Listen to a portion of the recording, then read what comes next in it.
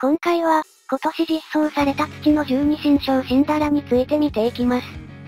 簡単に言うと、1ターンのためが必要なものの、2回行動 &1 ターンの攻撃大幅アップ確定 TA& 追撃40%という、短期戦において破格の性能をしています。まずは、実際にどのように使われるのか見てみましょう。それではご覧ください。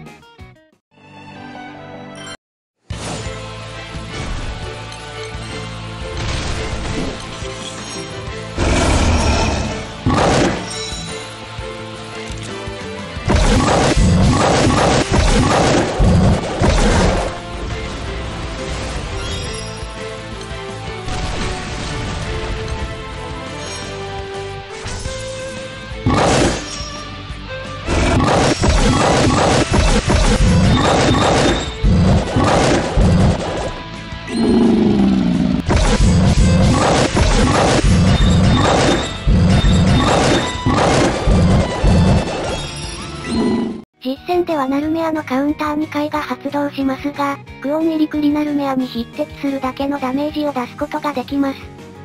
それでは、シンダラの性能を見ていきましょう。まず、サポアビ2つ目を見てみると、シンダラが攻撃行動を行わなかった場合、ターン終了時に、HP2022 回復、弱体効果全回復、2回行動、追撃40%が付与されます。また、3アビでは、全体カバー、敵の全ての攻撃を回避、そして攻撃行動を行わない代わりに、攻撃大幅アップ &TA 確定が付与されます。すなわち、1ターン目3アビを使うと攻撃を行わない代わりに、2ターン目には、2回行動追撃 40%&1 ターンの攻撃大幅アップ確定 TA というバケモン性能になるというわけです。特に、これが1ポチするだけで可能になるというのが、短期手動と非常に相性がいいです。また、攻撃大幅アップが1回ではなく1ターンなので、2プラトンと合わせて3回叩き込むことができます。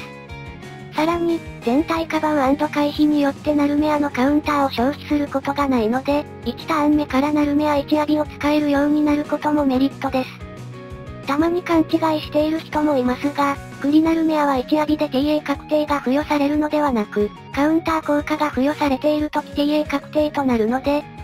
1ターン目に1アビを使って攻撃を受けるとカウンターが発動してしまい、2ターン目 TA 確定ではなくなってしまいます。一方で、デメリットもあります。攻撃大幅アップ、では通常上限が大幅に上がりますが、攻撃力アップはキャラによって上昇量が異なります。例えば、クリナルメアは攻撃力150%アップなのに、シンダラは50%アップしかありません。その結果、クリナルメアは上限に届くのに、シンダラは基礎火力不足で全然ダメージが出ないなんてこともあり得ます。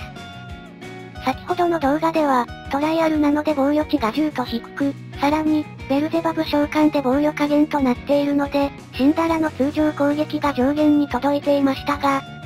古戦場95ヘルでは防御値15、150ヘルでは防御値25もあるのでダメージが大幅に減少します。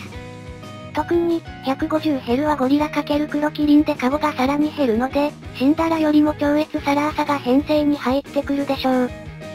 一方で、95ヘルは装備をある程度整えていれば、十分なダメージを出すことができます。今回の動画ではククルを使っていましたが、そこをマキラやファスティバなどのバッファーに変えることで、足りない火力を補強することができます。ここで、オメガゴトツやミーレスオノなど入手難易度の高い武器を抜いて、代わりにマキラを入れてみました。95ヘル想定とかではなく、トライアルで試してみただけです。それではご覧ください。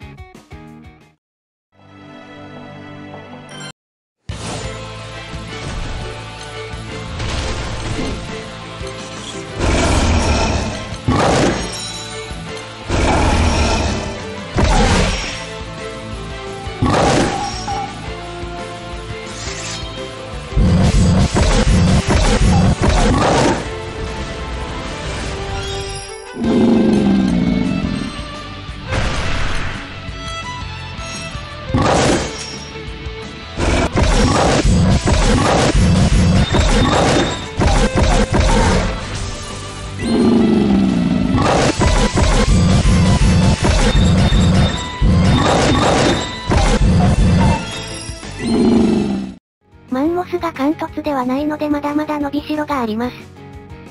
最後に、シンダラはレジェフェスで排出され、土子戦場は6月に開催されるので、5月末が、土子戦場前獲得できるラストチャンスです。12新章はローテーションで排出されるキャラが決まりますが、今年実装されたシンダラは毎月排出されるので5月末のレジェフェスで手に入れることができます。一方で、同じく土の12新章のマキラは、4月末のレジェフェスで排出されていたので、おそらく5月末は排出されないでしょう。ということで、今回は、土子戦場で活躍しそうなシンダラについて見てきました。シンダラの性能を最大限引き出すためには、高い装備水準が必要とされますが、それに見合っただけの働きをしてくれるのでおすすめです。それでは、